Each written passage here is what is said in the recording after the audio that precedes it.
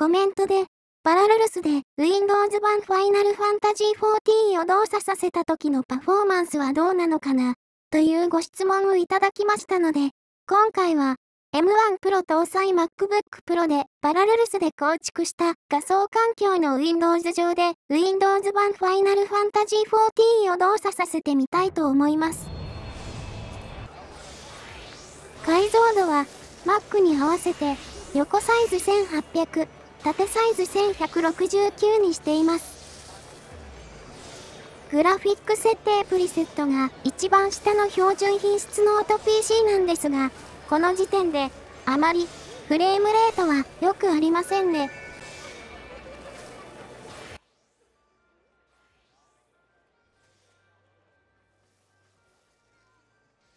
いつものようにリムサのエーテライトの周りを走ってみたいと思います。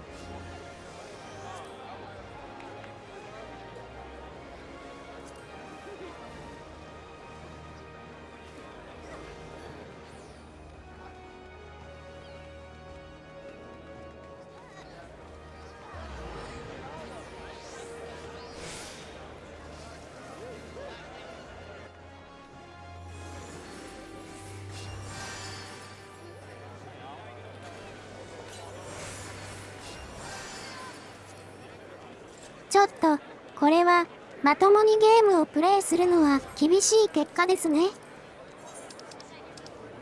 それでは、テレポもしてみましょう。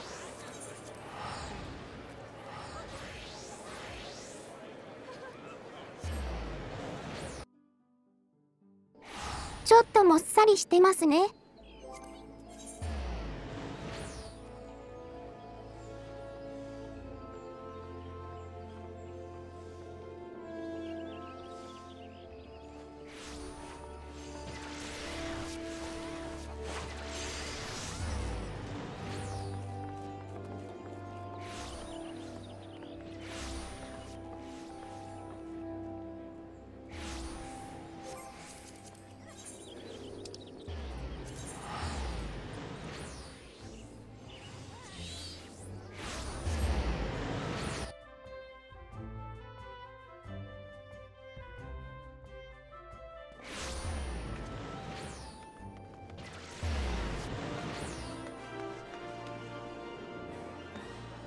最低品質で人が少ないところなら、それなりにフレームレートが出ていますね。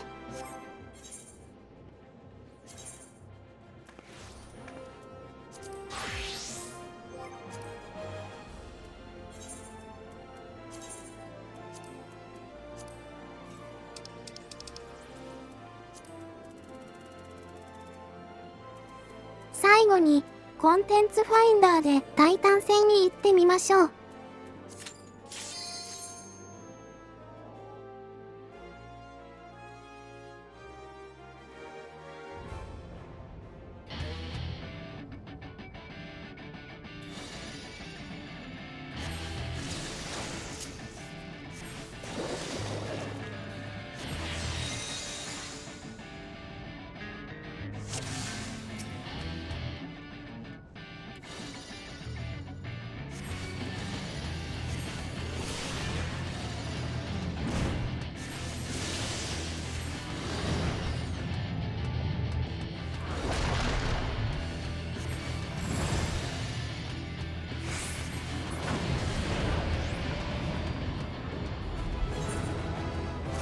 が少ない場所ならいいですが、リムサのエーテライト前のフレームレートを見てしまうと、パフォーマンス的には厳しそうですね。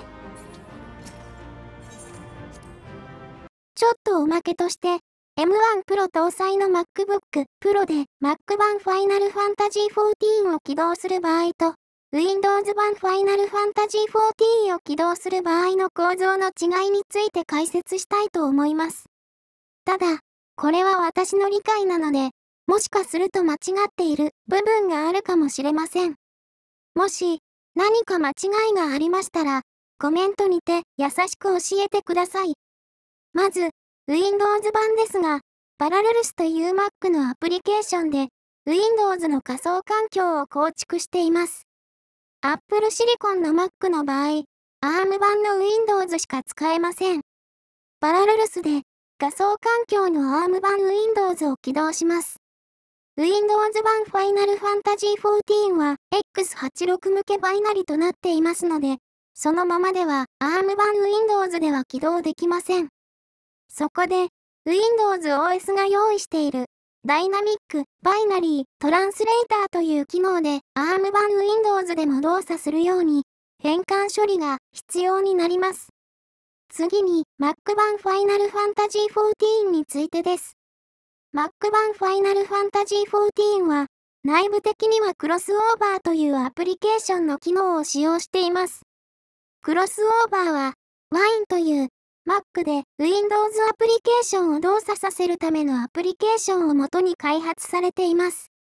Wine では Windows 用の API を Mac 用 API に置き換えを行っているらしいです。